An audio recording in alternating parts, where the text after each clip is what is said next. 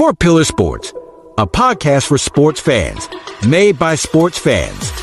Join Chris and Randy every week as they dive deep into football, basketball, baseball, and professional wrestling. Catch for Pillar Sports on all major platforms. And remember, keep on talking sports. This is your girl Yannick Taylor, aka Priestess, hostess of Conversations with the Priestess. Here's a preview of what you may hear on Conversations with the Priestess. We weren't meant for monogamy, let's be honest. Like, we have needs, let's be real. And communicating that, what you want, what you don't want, what sets up. Now, this drink is brown because I learned something. Since I'm older, I can't do brown liquor anymore. Also, I noticed since I started on hormone replacement there, HRT, in 2015, me and certain liquors don't mix, don't mix well. I don't know whether. And I recognize that a lot of men love to be dominated by women. And that's because men are seen as these leaders, as this big alpha male dominant thing, dominant being. And because they're put on this pedestal of being leaders, sometimes they want to be submissive. Back when I cosplayed a Butch Queen in South Carolina around 2011, I was on Craigslist. This is when Craigslist was bumping and before they had gotten rid of the personal section. I hope you enjoyed that preview. Join me on Wednesdays at 9 p.m. for Priestess After Dark. Full video versions of the podcast can be found on patreon.com forward slash CWT Priestess and join me on Fridays at noon for our regular Friday post. Live, love, and be free. Smooches. Available on Spotify, Apple Podcasts, YouTube, anywhere you download and stream podcasts. Age of Radio. Welcome, everybody, to the Kray Twins series. I wanted to release a couple episodes before this, but, you know, I was sick for a little bit. I'm good to go now. It didn't happen, so I figured, fuck it, we're just going to jump right into the Krays. But before we do, I have to give a huge shout out to a local musician out of Indiana whose music will be featured on part two, possibly part three, hopefully part three. Uh, I'd like to get a couple samples out to you guys. Uh, his name is Ace King. I love trying to help local musicians. He's a very, very talented rapper and he's homegrown, man. He's out of Indiana. So, course, I'm going to promote that. Gotta love it. Look for part two to feature some custom, some custom music, man. It's going to be totally different from what's usually on here, but it's going to be good nonetheless. So huge shout out to Ace King. You can find his music on YouTube pretty much anywhere. Um, go check it out. Another huge thank you to a dude named Michael Wood. Uh, he provided the audio track for the intro for this. Um, he's from England and he did it perfectly. It's a Kray Twins quote. Hit it, nailed it, perfect. And also, happy belated birthday to his soon to be wife, Kirsty. She turned the dirty 30 not too long ago. And listen, man. All right, Michael. I know I thanked you about a hundred times. Well, maybe like two or three for the, for the audio recording that you did for me. But I don't invite myself to wedding receptions very often, but if I have an opportunity to take my white trash self over to England for a wedding reception, listen, man, you don't even have to send an invitation. Just message me, bro. We're fa- we're friends on Facebook. But no, anyway, happy birthday to his missus, and thank you, Michael, so much for the audio clip. Other than that, we got Patreon subscribers, got a, quite a few of them, and everybody on Patreon has already heard this episode ad free. I got a lot of good feedback from it, so I'm hoping you guys like it too. Um, I got to thank Dustin Anderson, Jennifer Anderson, Lyndon from the podcast Murder at Bedtime with Lyndon. For those of you who want a new podcast, one of the most soothing English voices ever. And I'm actually going to have him on for an interview after I get done with this series because he, he remembers, you know, the Kray twins and their funerals and all that good stuff. So I actually get to talk to somebody who remembers a lot of that stuff. Got to thank Patricia Hill, Jess from Shoes, Booze, and Tattoos. Obviously, she's been on the podcast before uh, a couple times with my uh, Isobel Gowdie episode and Edgar Allan Poe episode. Thanks to her as well. We got John Howard, Joe G, Josh R, Donna Womble, Charlotte Van Houtvink. I hope I pronounced that right, Charlotte. If I didn't, I'm so sorry. and Jeff Mills. Thank you so much to all of you. And a lot of those new Patreon subscribers are in the $10 a month tier. Dude, get a hold of me, you guys. Let's get the Skype calls. You guys are entitled to that stuff. I mean, we can do it over Facebook. We can do it over Zoom. It doesn't matter. You guys are entitled to it. Hit me up, justin.mcpodcast at gmail.com. If anybody else would like to subscribe, you can go to patreon.com slash mysterious circumstances. We got a whole bunch of episodes there for you, and I release the bigger episodes ad free before I release it on the regular feed. So also Venmo one time donations at MC Podcast. Without further ado, my name is Justin. This is Mysterious Circumstances, and you're listening to the Kray Twins Part 1. Born in 1933 in the heart of the East End, Ronnie and his twin brother Reggie started out as boxers. They became the most feared of London's gang leaders. Known as the Firm, Ronnie and twin Reggie ruled London's East End in the early 60s, a reign that somehow horrified and fascinated the British public. They were good guys, they were good gangsters, if you want to use such a word. They wouldn't harm women or children, they were untouchable. They would resort to violence at the slightest provocation to establish a reputation. And this they did very, very successfully. Reggie was very calm. He'd done things very coldly, you know. If he was going to stab you, he'd just stab you. I think where Ronnie would have killed in anger, Reggie would have killed in hate. I can remember someone coming into the, the club and uh, Reggie Kray shoving a comb through their cheeks. Reggie had a long-tailed aluminium-type comb, steel comb, which he shoved through the man's cheeks, both cheeks, tied in a knot. They rolled him up in a carpet and took him out. Ronnie and Reggie Kray, the twins who became the undisputed bosses of East End gangland. Were they born villains, or did fate shape them for the role? Reggie went in to this um, mental hospital. I thought Reggie came out and we drove off in a bit of a hurry. I must say, I mean, I was being driven. I wasn't, I was in their car. So I turned round to Reggie like an idiot and said, uh, How was Ronnie? He said, Well, I'm bloody Ronnie. He said, Reggie's in there now. And I thought, Jesus, what have I got myself into? Uh, and he said, yeah, They shouldn't have put me in there in the first place. I'm perfectly sane. Why should they do that? They would hear of the misdeeds of other young criminals in the East End, and they would want their pickings.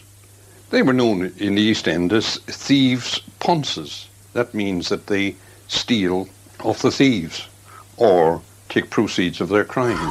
The Kray twins were far too violent, far more violent than was necessary, and they were clearly getting off on the violence. They weren't really rough people, they were quite gentlemen, you know.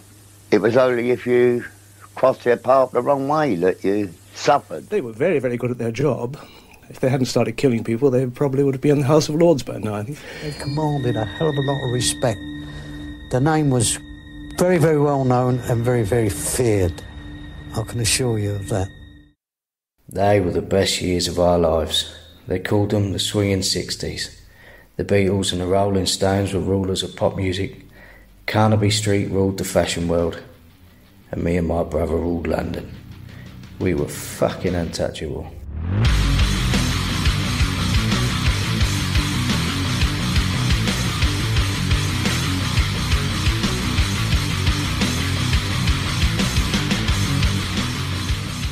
So, to put a little context into the Kray twins, we're not going to add too much context because the Kray twins is enough information that somebody could honestly create a podcast just on the Kray twins.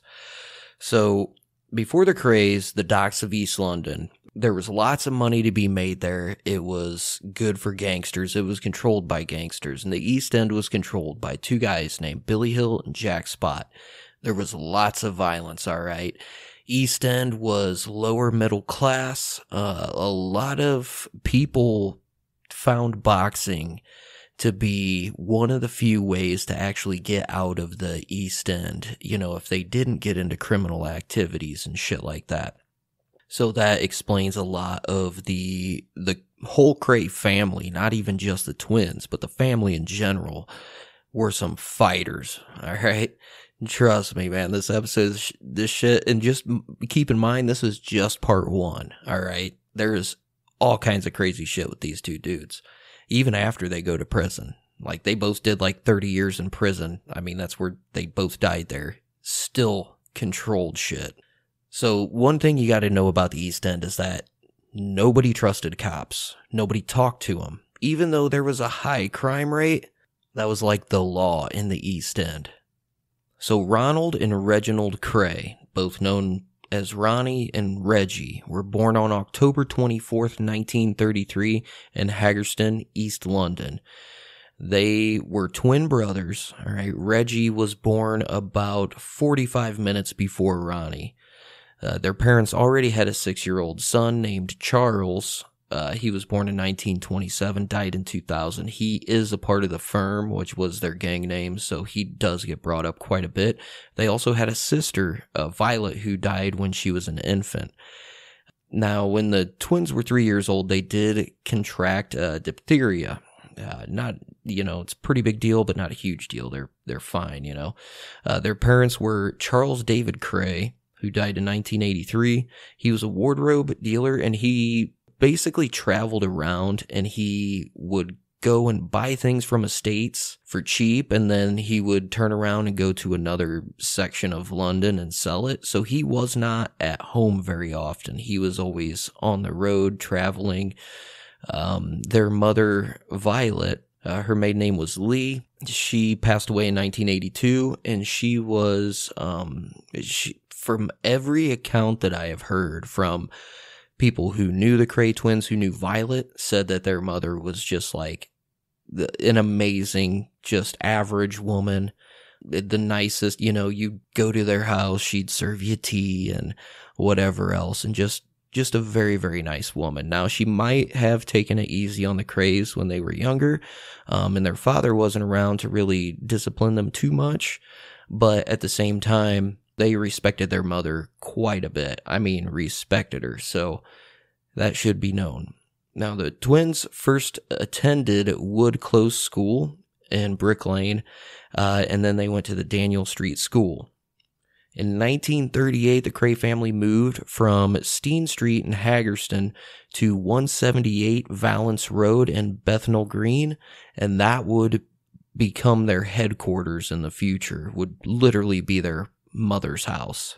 Now, during the Second World War, the twins were evacuated to East House in Hadleigh, Suffolk. I'm not sure how to pronounce that. Uh, that was with their mother Violet and their older brother Charles. They stayed at East End with the owners, Dr. and Mrs. Style, for about one year before moving back to London uh, because Violet, their mother, had missed her friends and other family.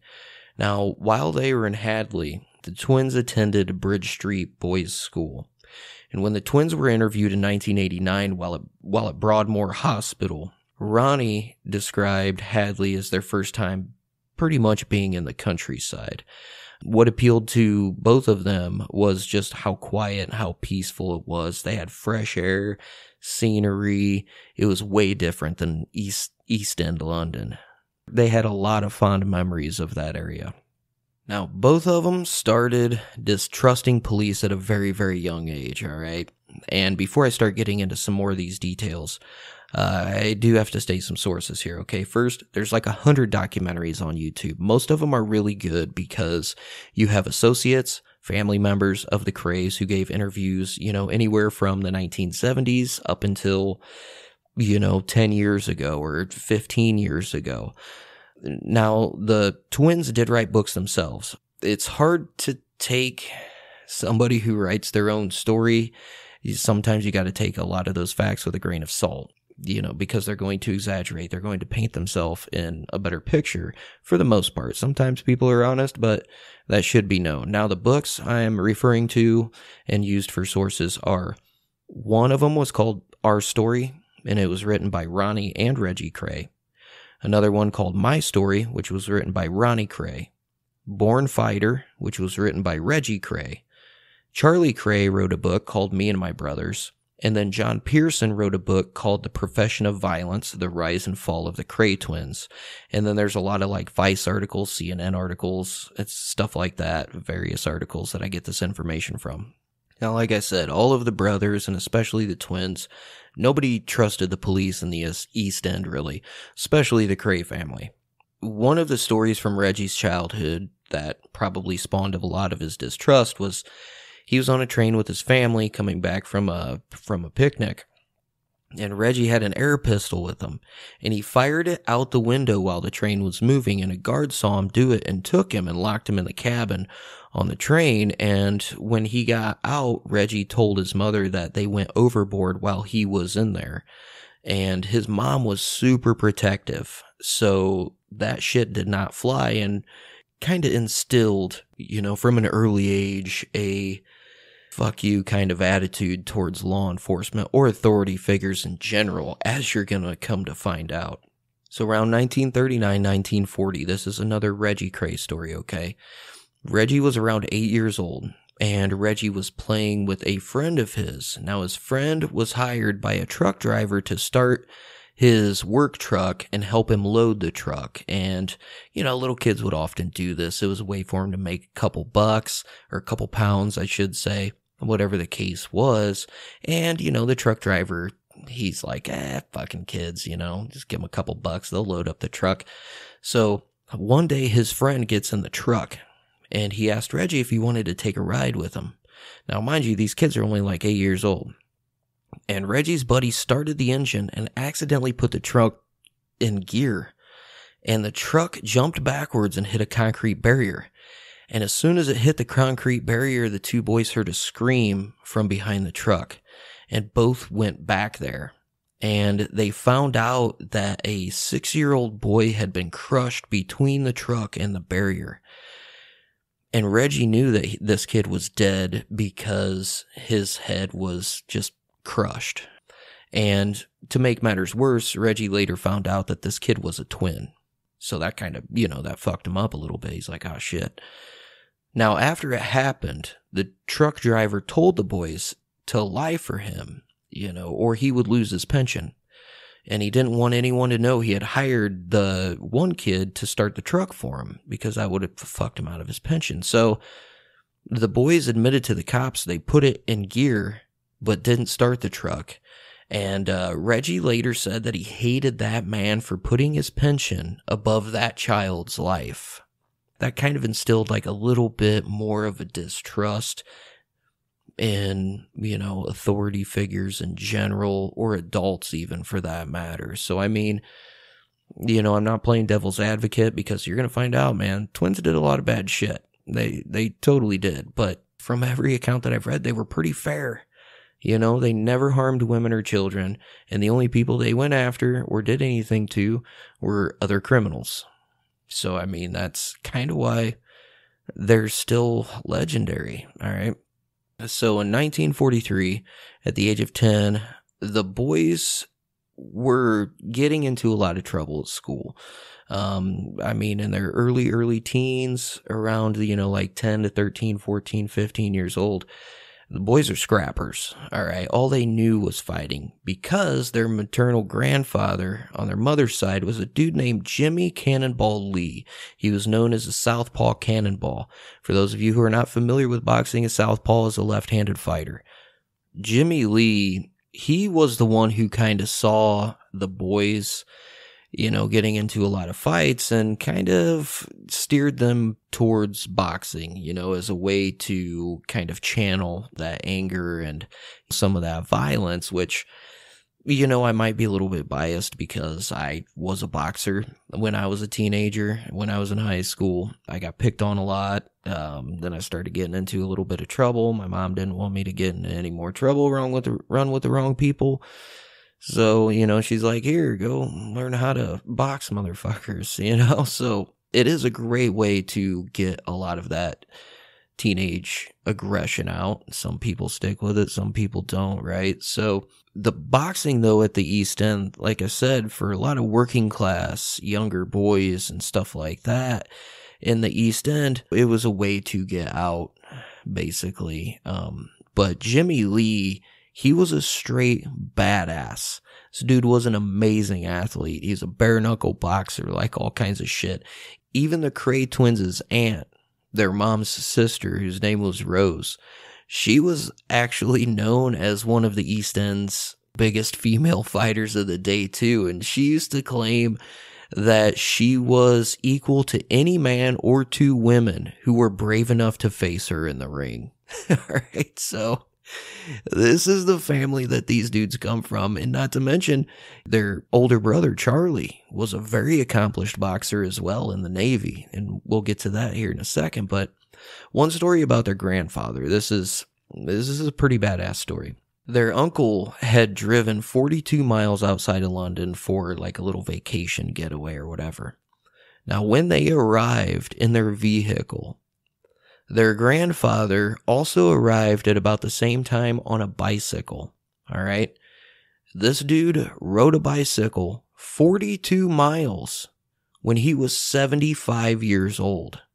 And then their uncle was like, listen, man, we're going to, uh, you know, take you in the car when we go to leave. You're not going to ride your bike back. And their grandpa was like, nah, or fuck you, man. Like, I can ride the bike back. I rode it here. I can ride it back just fine.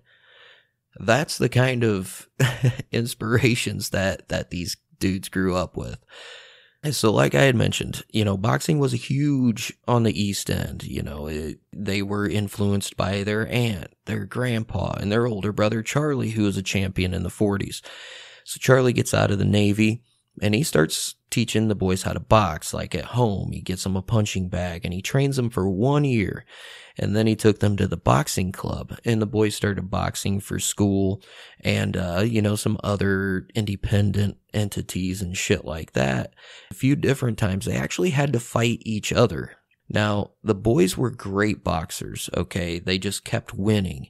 They could have gone really far with it. Ronnie his heart really wasn't in it. He was more of a street fighter.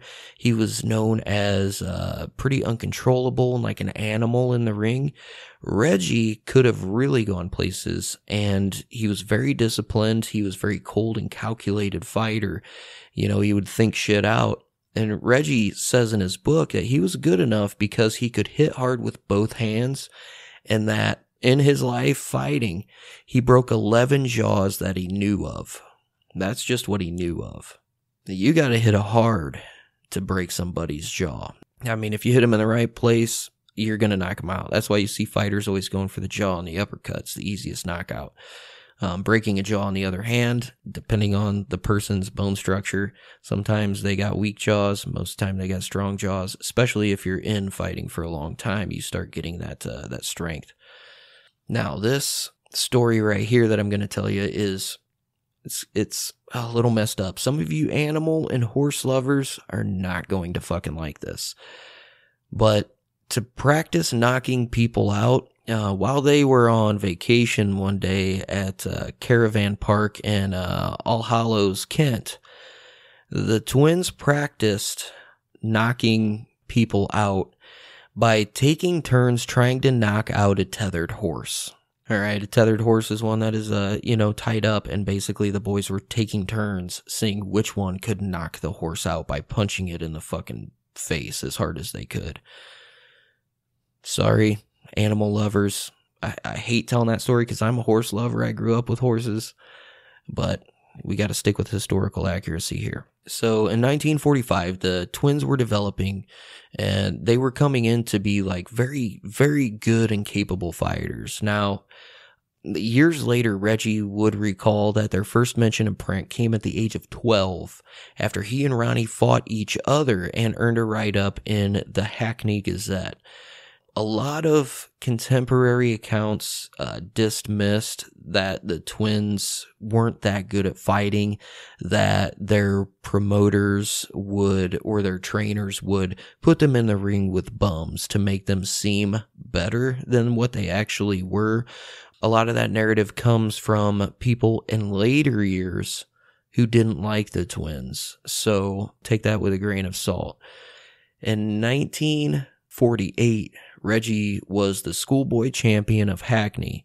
He won the London Schoolboy Boxing Championships and was a finalist at the Great Britain Schoolboys Championship.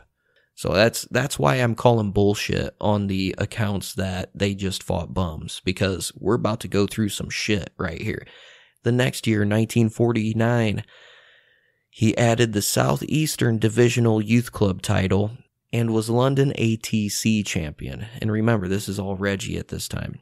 Now, Ronnie was also picking up awards when he was at this age too. He was a he was also a schoolboy champion of Hackney. He was a winner at the London Junior and London ATC events. A guy named John Pearson, who wrote the uh, previously mentioned book that I used as a source, he was a biographer for the twins. He quotes one veteran trainer as saying, quote, Ronnie was a fighter, the hardest, toughest boy I'd ever seen. To stop Ron, you'd have had to kill him. Reggie was different. Before he even started, it was as if he had all the experience of an old boxer in his fists. Once in a lifetime, you find a boy with everything it takes to be a champion. Young Reggie was one of them. End quote. Now, as good at boxing as these two were, the fact that they were identical twins also gained them a shitload of notoriety in the in the East End. Not only that, but they also start getting into a little bit of trouble. They start gaining a reputation. You know, they I've seen them referred to as the terrible twins before when they were younger. Um, now, in that, uh, going back to 1948, this is when they were about 15 years old in 1948. They decided to leave school. All right. They worked in the uh, Billingsgate Fish Market, which was the biggest in Europe, and they worked there for six months. This was to be the longest legitimate employment they ever had in their lives. Reggie trained as a salesman, and Ronnie worked as an uh, empty boy, and basically he would go look around the market each day and he would collect empty fish boxes for for his boss and they also worked on the weekends and uh, they would help out their their grandpa Kray on his stall in uh, Petticoat Lane. 1949, the boys are about 16 years old, and the boys get into a fight with another group of kids outside a dance hall in Hackney. Now, after the fight, one of the other boys went and reported it to the cops and he ratted on the Crays. And this was a fucking unforgivable rule that you did not break. You did not talk to the cops in the East End. So the boys ended up being charged with grievous bodily harm and they were acquitted due to lack of evidence. And, uh, you know, the local vicar gave them a little speech about being young boys and staying out of trouble and all that shit. So in 1950, there's another time, according to Ronnie, they were hanging around outside a cafe and he was violently shoved from behind. Now he turns around and looks and he sees that it was a cop. And the cop was telling Ronnie and Reggie and their little buddies to basically get the hell out of there because they were loitering around. Now, Ronnie did not like getting touched or pushed around for that matter, so he knocked the cop out with one punch to the jaw and then the boys took off running. Shortly after that, a couple more cops found them and took Ronnie. All right, and basically arrested him. Now, Reggie didn't like that. Hey, nobody fucking takes my brother anywhere. So he went back to the store that they were loitering at before, where Ronnie hit the cop, and he found the cop that his brother had knocked out. And then Reggie knocked him out too. So he was arrested and put in the same cell as his brother. and uh, for for this, they both ended up receiving probation. Now, keep in mind, they were still able to continue boxing. All right, even after getting into a little bit of trouble, they were still doing very well in boxing. Now, on July 31st, 1951, both twins fought at the arena in Mile End and this was still right before they turned 18. They were still 17 years old at this time. And Reggie Kray outpointed a guy named Bobby Manito. And Ronnie scored a TKO win over a guy named Bernie Long. The next month in August, Reggie fought at the same venue, this time without Ronnie, and he won by TKO against a guy named Johnny Starr. The next month, 1951 still, both brothers were on the card at Wembley Town Hall, and once more they walked away. Both of them were winners. Uh, Reggie beat a guy named George Goodsall by TKO, and Ronnie repeated his result from Mile End and beat Bernie Long again. Then the next month in October, Reggie fought alone. This time he won by points and he beat a guy named Bill Sliney at the National Sporting Club in Piccadilly. A week later, he fought Sliney again and took the bout on points, this time in Shepherd's Bush, while Ronnie beat Goodsall by a knockout at the same venue. Reggie won again on November 19th, beating a guy named Bobby Woods at the National Sporting Club, uh, which was in Mayfair. Ronnie, his streak was over. He ended up losing by disqualification to a guy named Doug Sherlock. Then the next month in December, like these dudes are literally fucking fighting every single month. Competition events. That's, I mean, back in the day, that's probably how they did it, man, but that's fucking wild. All right. So in December of 51, the twins were selected to fight at Albert Hall and they actually had their brother Charlie on the bill too. So it was all three Kray brothers on the same bill. Reggie won decisively on points. Ronnie ended up being disqualified for unsportsmanlike behavior. At this point, Reggie is invited to turn pro, and Ronnie was not because, like I said, he was he was an amazing fighter, but he was very undisciplined, man. The guy was like a fucking animal in the ring. So R- Reggie was invited to turn pro. Ronnie was not. But Reggie's chances of going pro get a little bit of a setback because they have another brush with the law. In early 1952, a few weeks after the Albert Hall fight, the boys were involved in a huge brawl outside a nightclub. And the thing is, is that professional boxers were prohibited from fighting outside the ring. Like you could not get in street fights, otherwise you'd lose your professional title. You'd get your card pulled. So, and that's what happened with Reggie. His license was withdrawn and basically his professional boxing career was over right there. And to make their story even more interesting, right about this time, the Kray twins get drafted into the military service. This is some entertaining shit right here, okay? So, March 1952, the Krays get called up to do their service in the British Army. And they had two choices they could either go on the run and avoid their military service like their dad did. All right, their dad actually did this. He pretty much he didn't really go on the run, but he just wasn't home to receive the calls and every time the military showed up to basically say, "Hey man, you know, it's time to go to the fucking army." Uh, he was not home. His dad was their dad was always gone. So, the Krays had a decision. They're like, "We can either go on the run, which they didn't want to do, or we can join. So they agreed to join if they could be physical fitness instructors. And they agreed amongst themselves. They're like, we can stay in shape, we can keep boxing. And they figured it would be beneficial for them and the military because they could train other boxers, which it, it does make sense. It's, it makes a lot of sense, but that's not how it works. So the twins reported to the Tower of London and there was a corporal in charge there and they walked in and they're like okay corporal here's our deal we want to be fitness instructors if not we're not going to uh, be here and so the corporal is like not how it works dudes you're going to do whatever the fuck you're told so the twins really didn't say anything and they just turned around and they went to leave and the corporal asked where they were going and the twins didn't say shit they just kept walking so and the corporal in charge goes and tries to stop them. And he grabs Ronnie's arm. You don't touch Ronnie fucking Kray. And you're going to learn that. All right. You don't fucking touch Ronnie Kray. Needless to say, this corporal was very seriously injured by Ronnie Kray, who punched him in the jaw one time, knocked him out cold, fucked him up. So the Krays are like, well, let's go back. So they just walk back to the East End you know, they just walked back home that night and they decided to uh, go to one of the local dances. You know, no big deal. So the next morning, they were arrested by the police and turned over to the army. And they didn't even resist. They were like, all right, you know, we fucking did it. So they go back to the Tower of London and they're charged with being AWOL and striking an officer.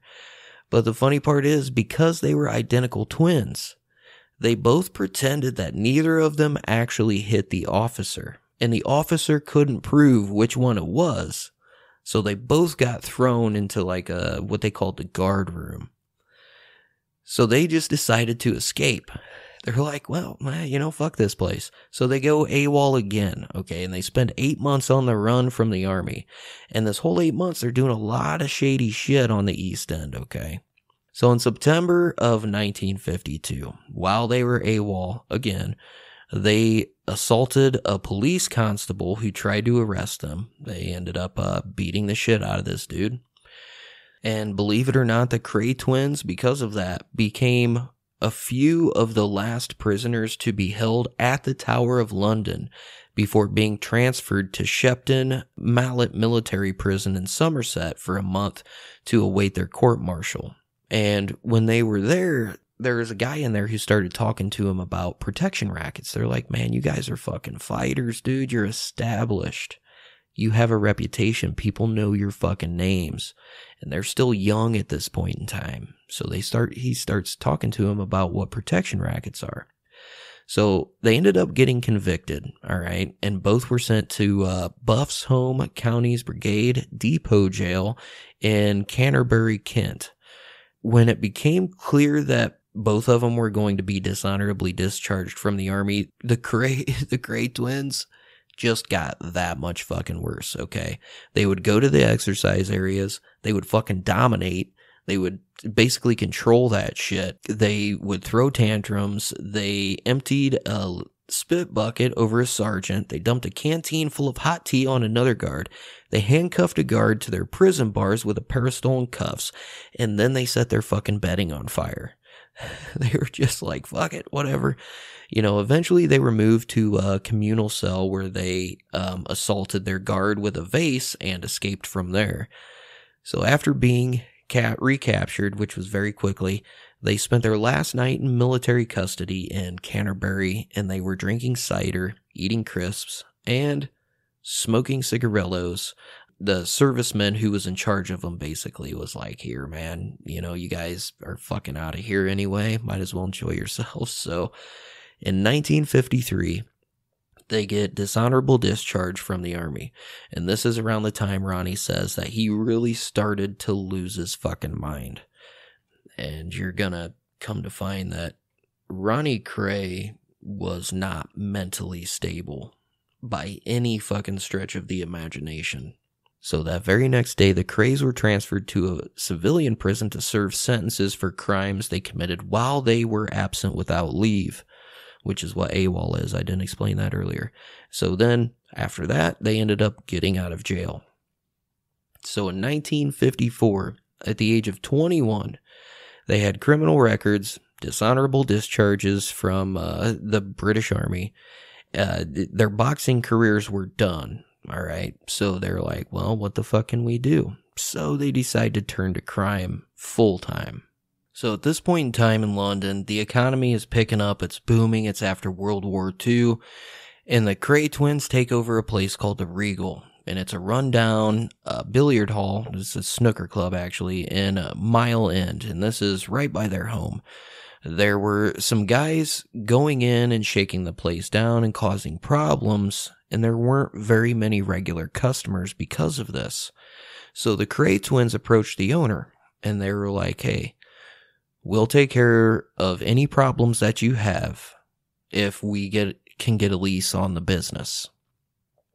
So the owner gave them a month to see if any of the problems would stop, and the problems stopped immediately. And Ronnie said in his book, if someone in there was acting up or if they broke something, we'd break their fucking bones. I mean, it's plain and simple as that and the owner ended up giving them a three year lease after that one month was up. So the Kray twins, they started adapting to this style of business because they were good at it. And there's a, here's a story. Five Maltese guys showed up demanding protection money one day. Reggie pulled out a knife. Ronnie pulled out a fucking sword. All right. So they chased them dudes away. They never came back. This was huge news in the East End. It made the papers, but the Kray twins never got arrested. But the place never had any more problems after that, right? So they start getting this reputation for violence. And they started getting new friends that wanted to hang out with them. And they start going into bars and messing with people. And uh, certain little groups of their friends would hang out on certain streets. And the thing about it was, is all of them could fight and all of them were capably violent one of the big things about the protection rackets was gambling was i don't think it was illegal it was kind of frowned upon and um, the east end was filled with one room clubs all right there's a name for them i can't remember the name but basically the cops would go in shake these places down and they would arrest these people and they would just fine them all right so like the cops really didn't fucking care what they were doing, but they were just rearresting him and, and let him out the next day and just fining them and making all this fucking money, right?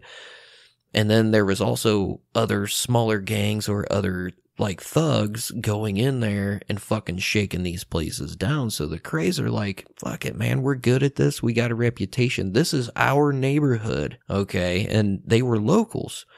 So they started offering protection services for those places. All right, and before we get further into more crazy stuff, let's go ahead and take a break. I'll meet you guys back here in a couple minutes. Four Pillar Sports, a podcast for sports fans, made by sports fans. Join Chris and Randy every week as they dive deep into football, basketball, baseball, and professional wrestling. Catch Four Pillar Sports on all major platforms. And remember, keep on talking sports.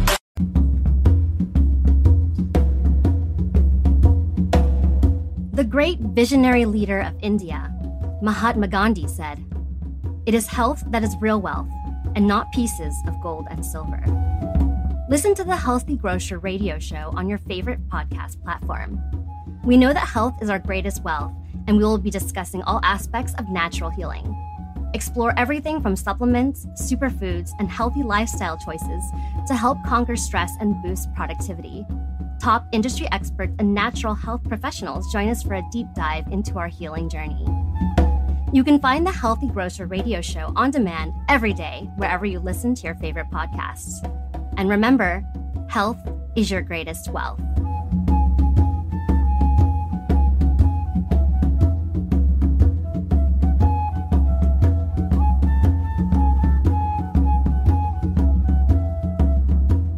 So this is where they started getting all those like protection rackets.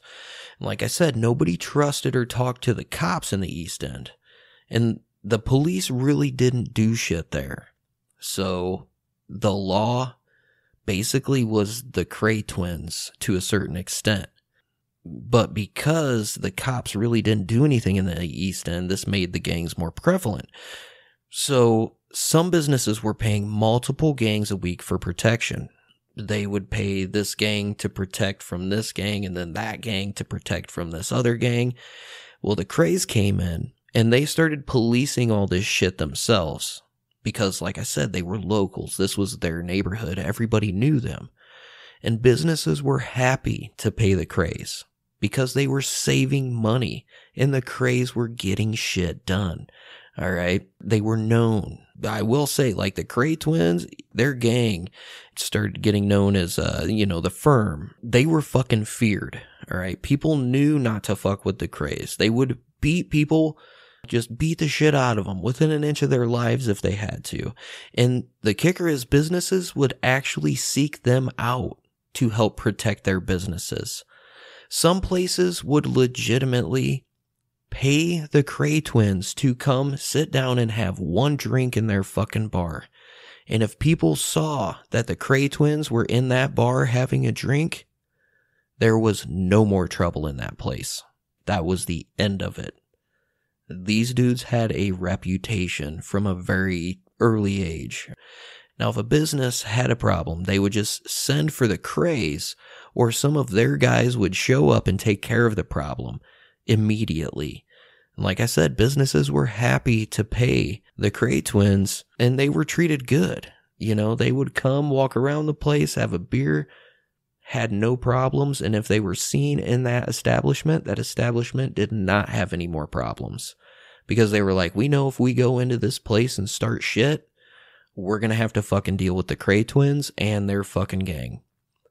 So through the 1950s, the Krays started getting into fraud, extortion, and like I said, this is where their gang starts getting known as the firm. Now, the firm had certain rules, one of which was never hurt anyone who can't defend themselves. Never rat on anyone or anything, period.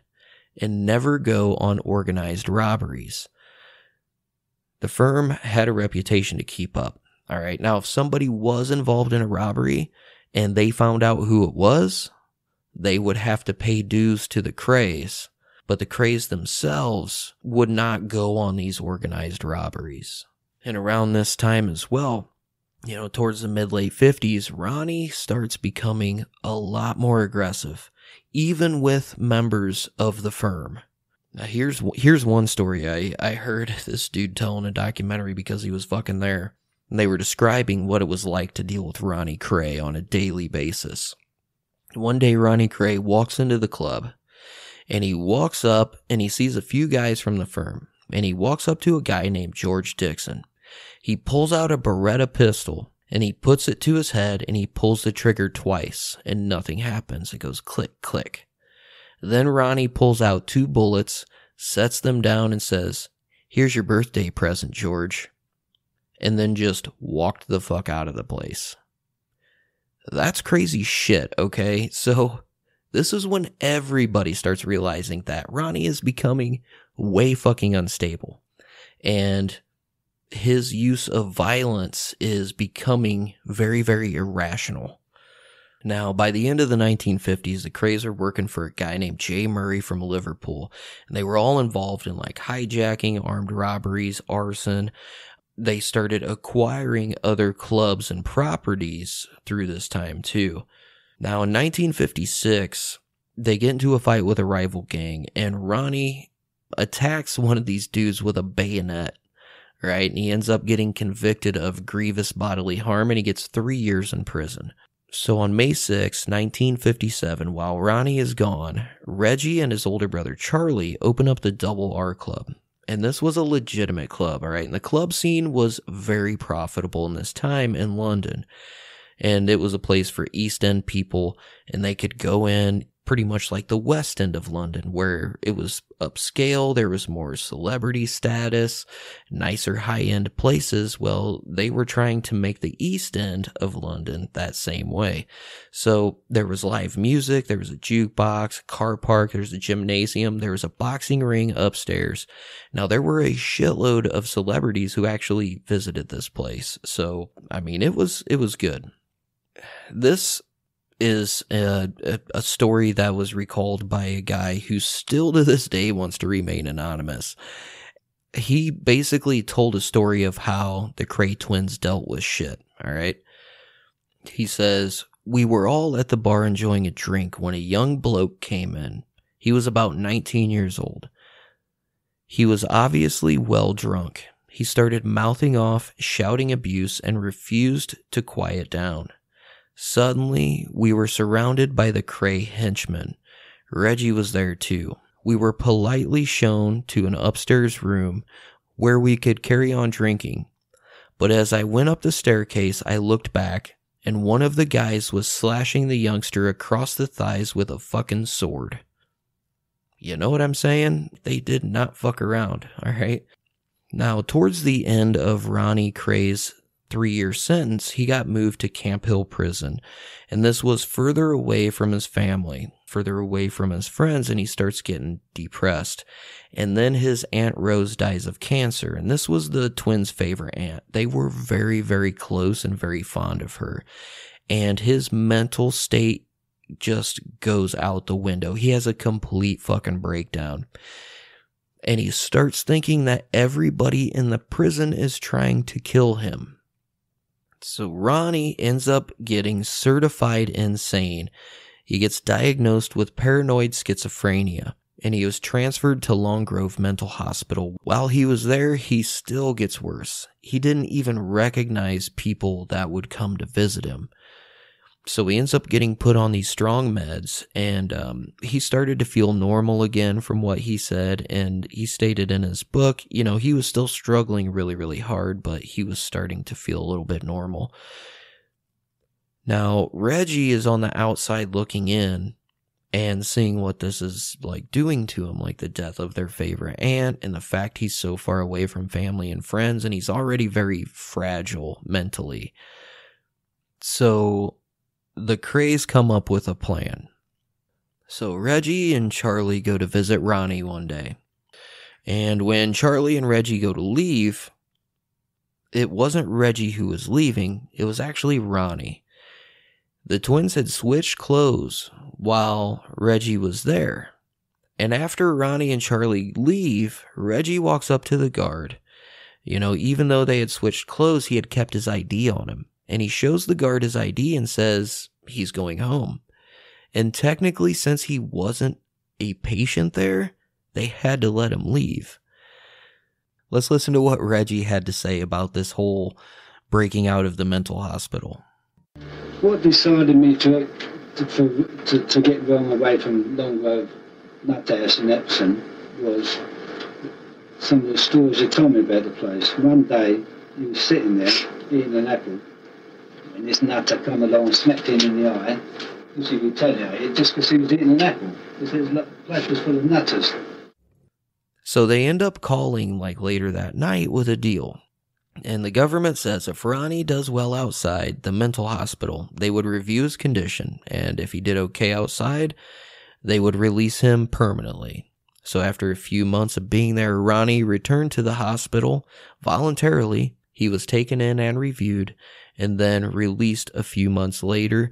But his mental health was still really, really bad. And it was more than likely that he paid off the doctor, the Krays paid off the doctor to say that he was way better and all that shit. So Ronnie gets out and they start doing, you know, the club thing again.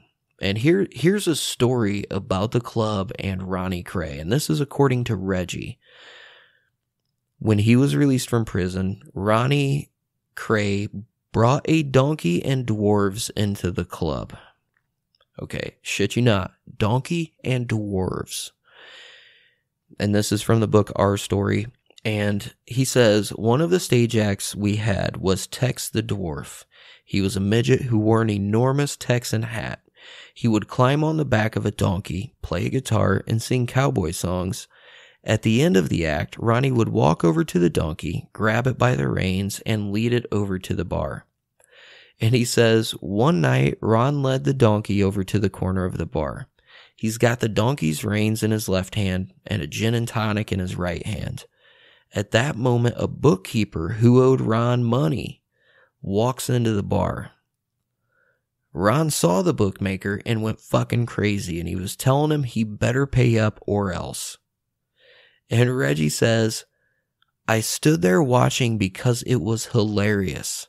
There was Ron, sticulating and just laying down the law in general, with a donkey in one hand and a gin and tonic in the other.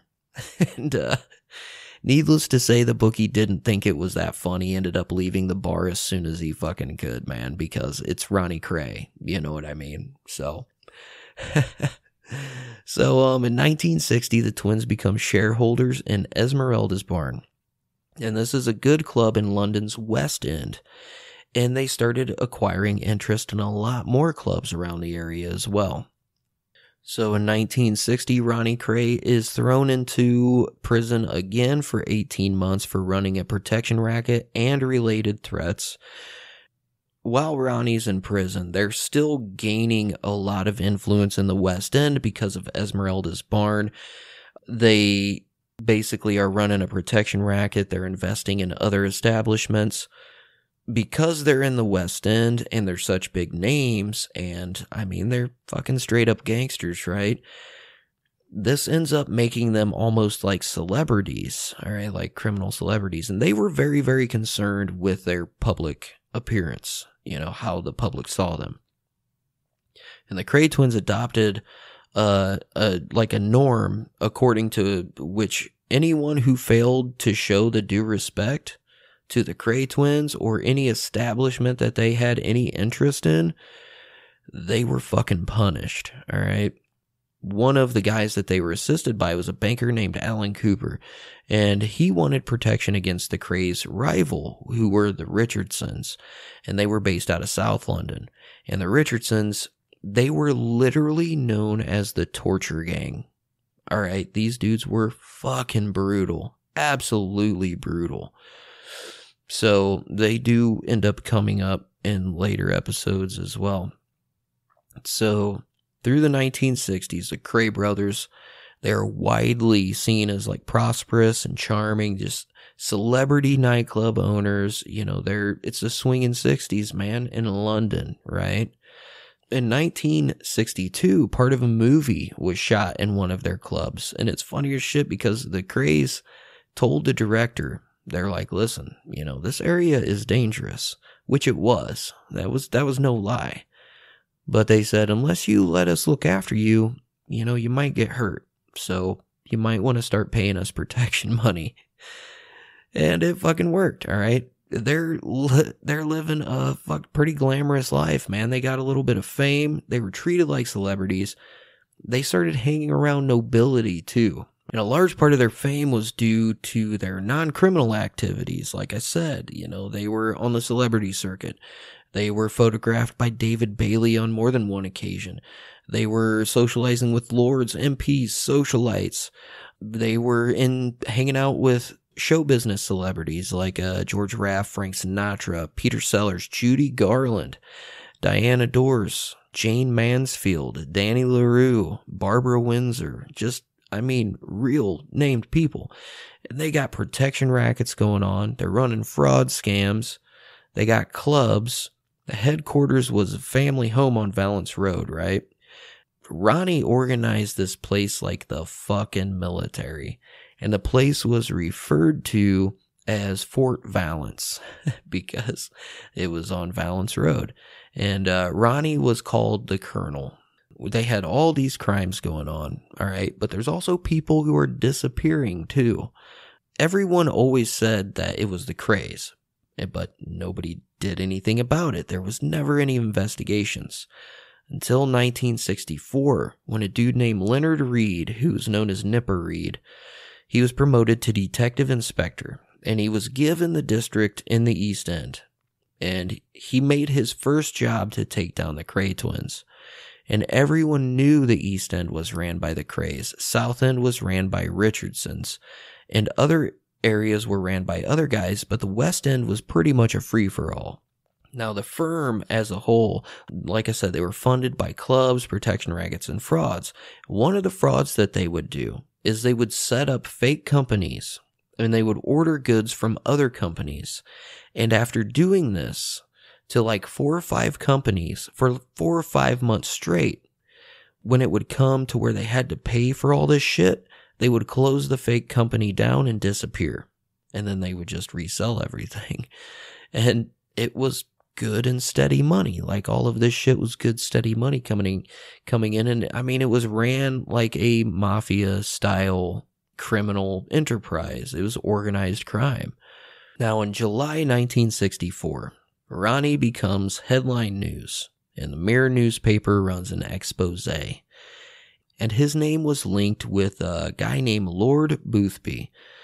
And this was a homosexual scandal. All right. This was huge news. And it was news that was leaked by the cops. The thing about this expose is even though they had a photo of Ronnie Kray and the Lord Boothby together, the newspaper still wouldn't state the Kray's name because they were scared.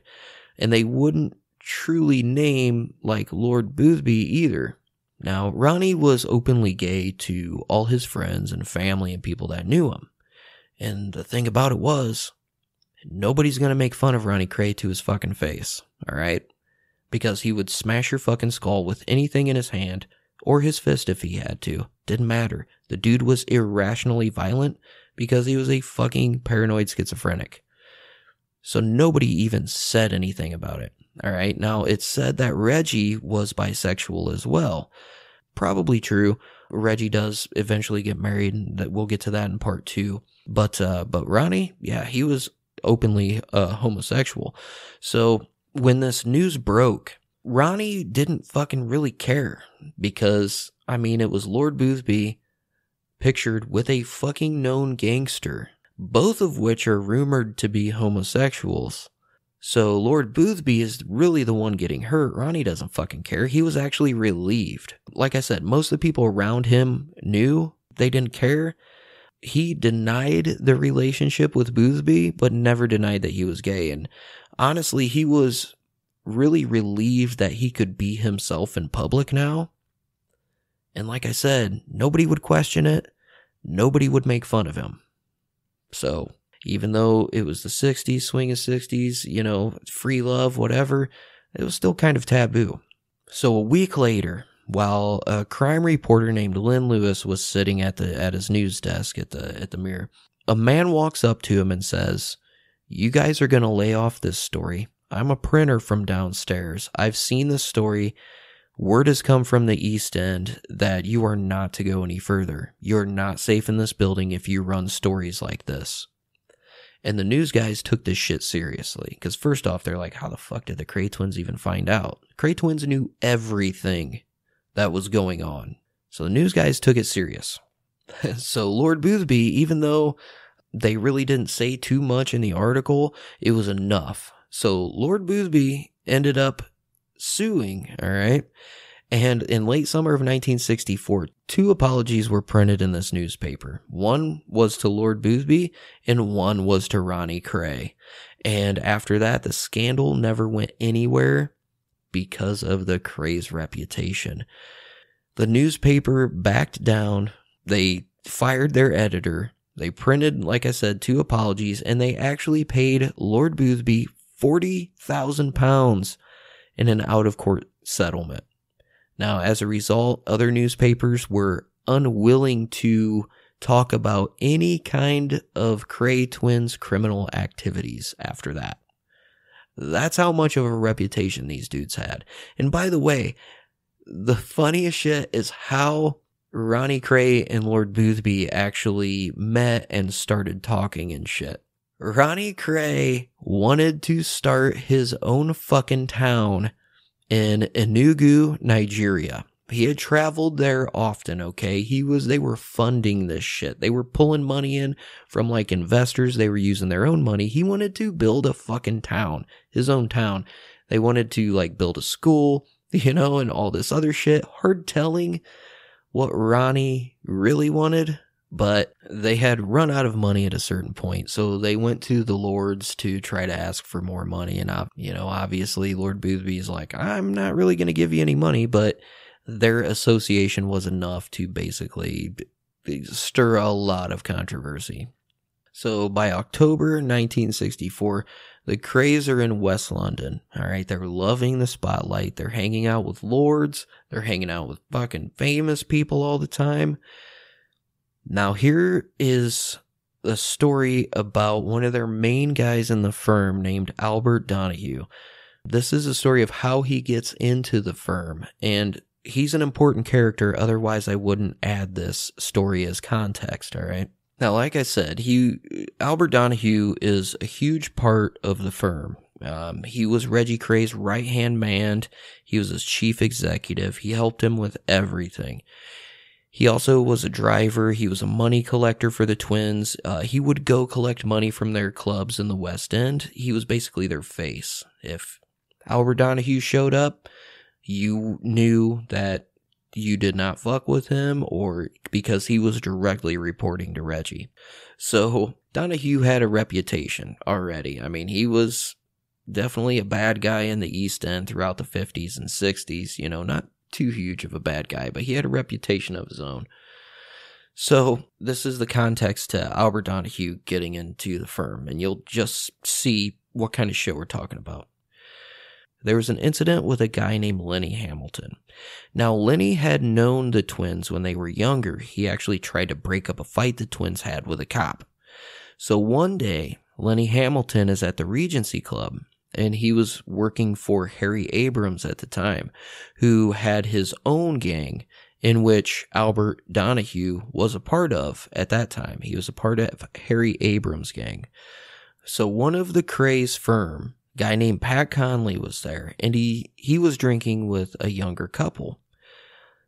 Some men arrived from South London. They bought the group a drink. Hamilton ordered one for himself and the other young man, but didn't know what the girl was drinking, so he asked her. The man that was with her threatened Hamilton. He took offense to it. And Pat Conley, who was sitting there, stated, You don't do that to Lenny Hamilton. So Lenny Hamilton goes to visit the toilet. He goes in there to take a piss. And this dude follows him in there and this brawl breaks out. Lenny Hamilton attempted to go at this dude with a fucking razor blade. And this guy turned out to be Buller Ward's son. Buller Ward was friends with the Kray twins. So Hamilton's close friend, a guy named Andy Paul, he was living with him at the time and you know he would uh he would work for the Krays as like a doorman. He says one morning around 1 a.m., he came home when Hamilton was in bed and said that Ronnie wanted him to visit him at Esmeralda's barn. He then proceeded to get a taxi to Knightsbridge to Esmeralda's barn in Wilton Place and asked the cab driver to wait. When Lenny Hamilton walked upstairs, he saw that all the gambling tables were closed down and there were seven or eight people standing on either side. They told him to go into the kitchen, and when he opened the door, Ronnie Kray is standing there. He had a big armchair like next to this cooker and he invited Hamilton to sit down. Lenny Hamilton sits down and Ronnie says, You know, what's going on, Lenny? You caused a bit of a trouble in the Regal. You know, we get protection money from them. So Lenny is like, Fuck, man. So he gets up to leave and two men come and they hold him down in that seat. And then he sees Ronnie heating a piece of steel that he would usually use to sharpen knives on a gas stove. Okay. And he's heating this piece of steel until it's fucking white hot. And he comes at him with this fucking poker and he just singes Hamilton's hair. And then Ronnie started setting fire to his suit and then he took the poker hit his fucking cheeks with it, burned his cheeks, and then he held it across his eyebrows and burned those off. Then Ronnie walks over to the stove again, looks back, and says, Now I'm going to burn your eyes out. And as he comes towards him, a guy named Limehouse Willie called out from the guys who were watching, No, Ron, don't do that. And then Ronnie just stops, turns and goes to walk away and looks at looks at Lenny Hamilton and he's like, Do you want a fucking donut? Swear to Christ, man. And the best part is is like there's so many witnesses to this shit. Leslie Payne being one of them, who's also gonna come up in, in the later episodes. But that's the kind of shit that you're dealing with with Ronnie fucking Kray. Alright? He's not right. So Hamilton goes and he returns to the taxi outside. Because he was being followed by a firm car, he goes to his friend Harry Abrams' house, who he was, you know, not really working for. He was just friends with the dude. Now, Abrams was not there, but he came home with a guy named Albert Donoghue. Okay. Now, Albert at this time had just been released from prison after doing three years. And he looks at Lenny Hamilton's face, which, like I said, he had been hit in the cheeks with a fucking hot iron poker and had his fucking eyebrows singed off. And he asked who did it to him. And Hamilton wouldn't fucking tell him. He's like, I'm not even gonna tell you, man. So Albert Donoghue basically talked a bunch of shit about the guy who tortured him, and he didn't even know who did it. He was just saying, you know, I can't believe somebody would do that to you, man. You know, you should fucking blow his brains out, blah, blah, blah. Didn't even know who tortured him. So Albert Donoghue, after this, he goes to a bar called the Crown and Anchor to have a drink. So he's drinking there for a little bit, and then he looks around and he noticed that all the people in the bar are slowly moving away from him. And that was when Reggie Kray comes up behind him, shoots him in the fucking foot, and then Ronnie grabs him and drags him the fuck outside. Albert Donoghue walks to the fucking hospital, gets his foot checked out, gets a cast put on it, gets all fixed up and everything. While he's at the hospital, he gets a message that says the Kray twins wanted to see him. and he was told to visit later that night at Fort Vallance, you know, to go to their house on Vallance Road. So this motherfucker walks from the hospital to their place on Vallance Road with a cast on his fucking foot, just got shot by Reggie. And that's where the twins told Donoghue that they did what they did to Lenny Hamilton because he got too flashy, too big for his boots. And then the twins offered Albert Donoghue a job. They offered him a pension and gave him a job in the firm and basically was like, hey, come work for us. Quit fucking doing all these dumbass robberies. Just come work for us. You'll be fine. We'll put you on a pension. Yes, the Kray twins and the firm had a fucking pension program for their fucking gangsters, by the way, which is step above the rest. You know what I mean? So, so two days later, Hamilton's uh, protector from Billingsgate, a guy named George Cornell, whose name is going to come up in part two, comes to visit and he gave Harry Abrams' wife 200 pounds with instructions to make sure that Lenny Hamilton was taken care of. A day later, Charlie Kray shows up and gave her another hundred pounds. And finally, the Krays sent their doctor the next day to treat Lenny Hamilton and give him some ointments and make sure that his burns were going to be healed up and nice and everything like that. Now, Donoghue said nothing to the cops about any of this shit happening. Like I said, remember his name, it will come up later again, but Albert Donoghue becomes one of the Kray twins' most trusted associates. Okay. Paymaster, he's an enforcer. The most violent years of the Kray twins, Albert Donoghue is right there as a number two guy. He would go to the West End all the time, collect money from the nightclubs. Like I said, he was the face that the Kray gang used so that people would know a club was owned by the firm so that nobody would fuck with that place. So, that is the end of part one. In part two, we have the Kray twins loving the West End. We have Nipper Read still investigating the Krays, in which he could not find anybody to testify against them. Then we have the rival gang, the Richardsons, which come more into play. Ronnie helps somebody break out of fucking prison. And then we have some murders coming in part two. This is definitely going to be a three part series. So I hope you enjoyed part one. See you folks on the flip side.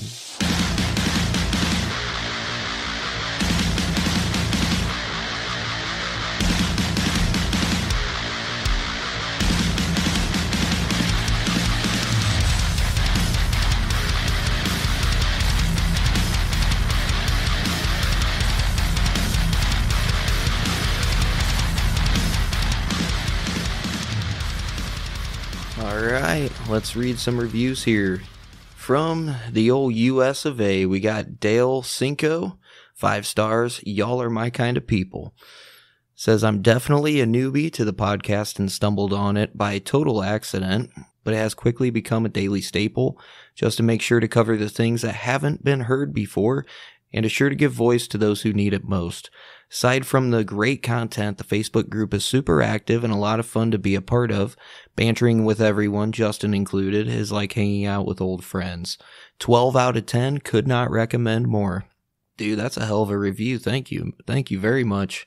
I'm glad that you like the Facebook group. Yeah, we all, we're all pretty active. I'm always posting, well, I mean, I'm on a 30 day Facebook ban right now, but you know, we're not going to talk about that. Um, I get banned from Facebook quite a bit. But no, when, when I'm not, I mean, we're always posting, having a good time in there. You know, there's lots of memes, lots of good people. You know, I have few major, major rules, one of which is like, you know, don't get too dirty. And the, the one major rule is absolutely no politics. You do not talk politics in my Facebook group. I'll give you one or two warnings. And after that, the problem will take care of itself. I will personally kick you out of there. I can't bring a bunch of people together with common interests to talk about divisive shit. Not going to happen in my Facebook group. Everybody seems to understand the rules and we all get along great. So, I mean, it works out for everybody. Um, but thank you, man. I'm glad you enjoyed it in there and, you know, feel free to post whatever. We posted a lot of fucking memes in there, man. A lot of memes, some funny shit, a lot of good articles too. Um, a lot of historical articles from like Smithsonian and a lot of crime articles. I try to keep everybody updated on recent cases and stuff like that, new cases that, you know, going on and stuff like that. So I'm glad that you can appreciate that Facebook group. Next, we got five stars, Sand Trooper Mick. Great podcast. Have been listening to podcasts for about a year now and was listening to Dark Windows podcast episode about Travis Walton and subscribe to Mysterious Circumstances. Definitely a must have podcast. Love the episodes and the creepy vibe you put off in the stories you tell. Keep up the good work, man. Looking forward to future episodes. I appreciate that, man. I try to definitely try to pick interesting topics, you know, whether it's gangsters or try to debunk some paranormal shit or, you know, bring attention to unknown, less covered cases. So I'm glad you appreciate that, man. Oh, here we got five stars, Shell and Steffi. It says, Love this. My wife and I were searching for a new podcast and stumbled across this while looking up the Burger Chef murders. We love Justin. This is our favorite podcast yet. Oh, man. I will say this if I'm one of your favorite podcasts, you probably haven't heard very many of them. no, I'm, I don't know.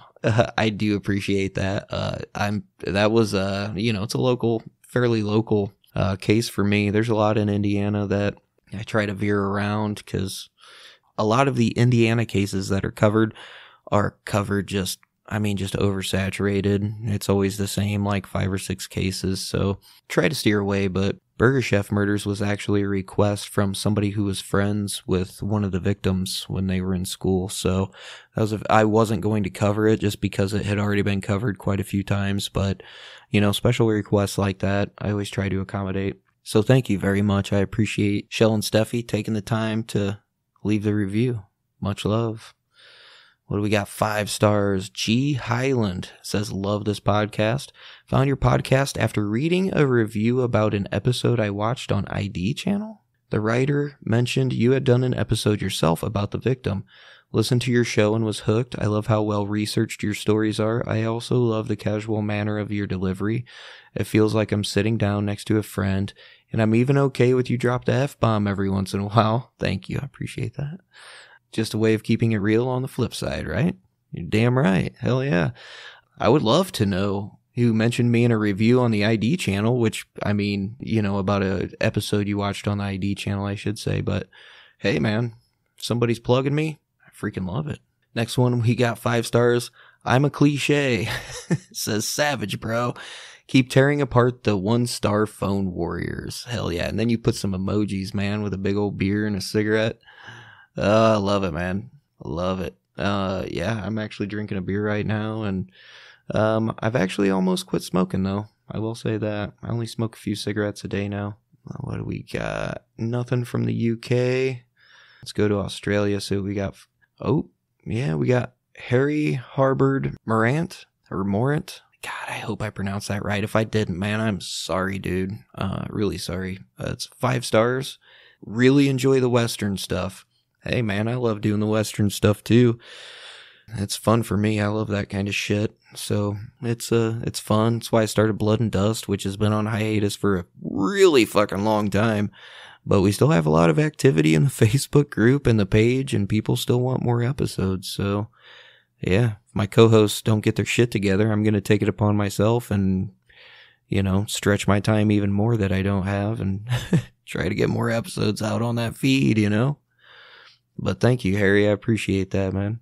Who we got here? Five stars says Fuzz Me from Sydney, Australia. You smash these crime stories like a boss. Fucking right, Fuzz Me. That's what I'm talking about. no, I appreciate everybody taking the time to leave leave those reviews, man. It really does. It means more than me than you know. we got another one. It's five stars. This one's from Canada. Melanie Mack. Loving this new to me podcast.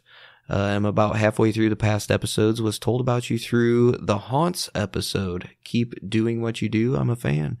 Hell yeah. I'm not a hundred percent sure what the Haunts episode was, but sounds good to me. Hey, if they're directing you to me, I'm fucking cool with it. and thank you, like I said, very much. Thank you for taking the time to leave the review, you know. We got another one, five stars, says, I don't even know how to pronounce that. Yoivius. I don't know. I'm sorry, man. I don't know. It says uh, five stars, amazing. Hey, Justin, I think your podcast is amazing. I do enjoy the juxtaposition of your cool vocal effect with especially the Mafia Gangster podcasts. Hmm. I think you're very insightful. Wishing you all the best from Toronto, Canada. Keep up the great work. Well, Toronto, Canada, I fucking love you guys too, man. You guys are awesome.